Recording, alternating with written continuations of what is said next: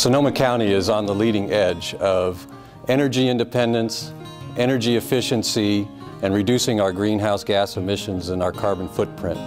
That's why we're able to attract grant fundings, both in the state level but also on the federal level. And we're going to be competitive now and into the future, bringing in those resources to make these projects a reality for our community. Airport Business Center originally started working with the uh, Sonoma County Water Agency talking about doing some kind of geothermal heating and cooling system. Geothermal heating and cooling is old technology, very efficient technology, but old technology.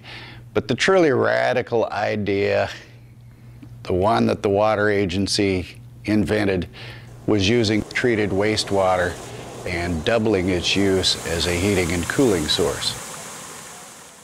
The Regional GeoExchange Project is a project that was conceived around the idea of building zero net energy communities that can be replicated all throughout the United States and preferably the world. The backbone is a geothermal loop system that runs through a community that can pipe wastewater, which can act as a heating and cooling sink to lower the energy needs of the buildings to the point where the balance can be made up through a combination of energy efficiency measures to bring down the energy use of the building, and then that remainder can be brought up using renewable energy such as solar and wind power. Well, we knew we had to start somewhere, so we decided to take this building, 404 Aviation Boulevard, and make it a test case for the energy project as a whole.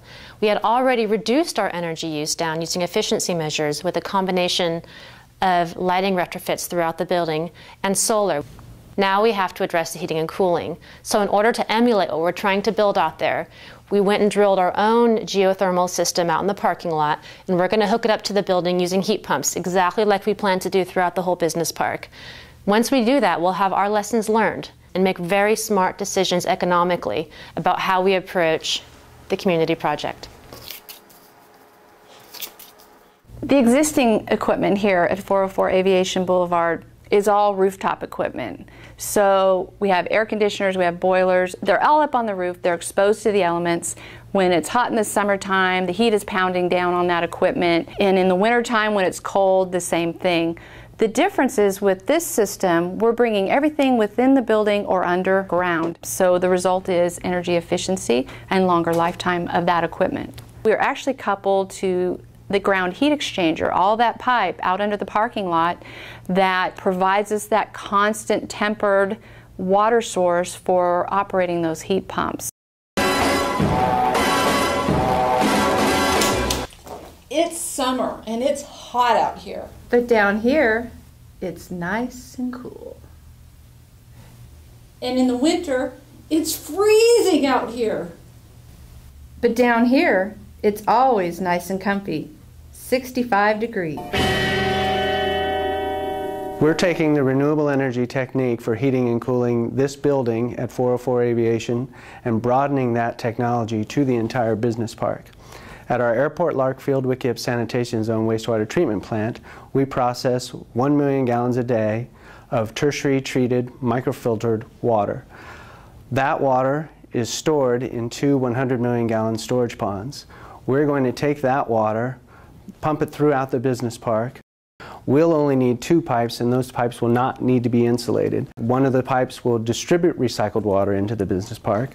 The other pipe would return the recycled water back to the treatment plant. The buildings within the business park could tie into that loop and use that water to heat and cool their buildings. That energy can then be dissipated into the earth on the banks and on the floor of the storage pond. They could also use that recycled water to irrigate their landscapes and for non-potable uses within their building, such as for toilet water. We believe these programs that are kind of under this uh, umbrella of sustainability will not only lower our costs, but will also attract new businesses. And for us, yes, it is nice to help the environment, but bottom line, you got to make money doing it. We think this will do that. One thing that's common in the United States and throughout the world is that there are a lot of business parks. And a lot of those business parks are big energy users. And one of the things that we know is using recycled water, using solar and other kinds of projects locally, you can create zero net energy communities in all the businesses throughout the world. That is something that we're excited about, and we know we can make it happen.